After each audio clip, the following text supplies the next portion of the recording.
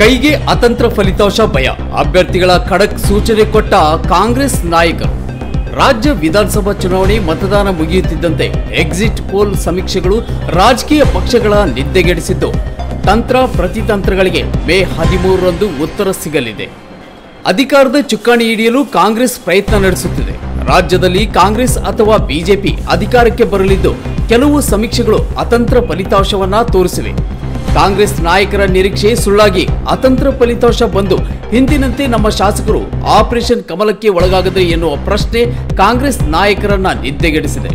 ಹೀಗಾಗಿ ತಮ್ಮ ಶಾಸಕರನ್ನ ಹಿಡಿದಿಟ್ಟುಕೊಳ್ಳಲು ಕಾಂಗ್ರೆಸ್ ನಾಯಕರು ಮುಂದಾಗಿದ್ದು ಪ್ಲಾನ್ ಬಿ ರೆಡಿ ಮಾಡಿದ್ದಾರೆ. ರಾಜ್ಯ ಕಾಂಗ್ರೆಸ್ ಉಸ್ತುವಾರಿ ರಣದೀಪ್ ಸಿಂಗ್ ಸುರ್ಜೇವಾಲಾ ರಾಜ್ಯಕ್ಕೆ ಆಗಮಿಸಿದ್ದು ಶಾಸಕರನ್ನ ಹಿಡಿದಿಟ್ಟುಕೊಳ್ಳಲು ಗುರುವಾರ ತಡರಾತ್ರಿ ವರ್ಚುವಲ್ ಮೀಟಿಂಗ್ ಮಾಡಿದ್ದಾರೆ. ಈ ಸಭೆಯಲ್ಲಿ ಎರಡು ನೂರ ಇಪ್ಪತ್ನಾಲ್ಕು ಅಭ್ಯರ್ಥಿಗಳ ಜೊತೆಗೂ ಮಾತುಕತೆ ನಡೆಸಿದ್ದು ಸುರ್ಜಿವಾಲ್, ಸಿದ್ದರಾಮಯ್ಯ ಹಾಗೂ ಡಿಕೆ ಶಿವಕುಮಾರ್ ಸೇರಿದಂತೆ ಎಲ್ಲ ನಾಯಕರು ಭಾಗಿಯಾಗಿದ್ದಾರೆ ಎನ್ನಲಾಗಿದೆ.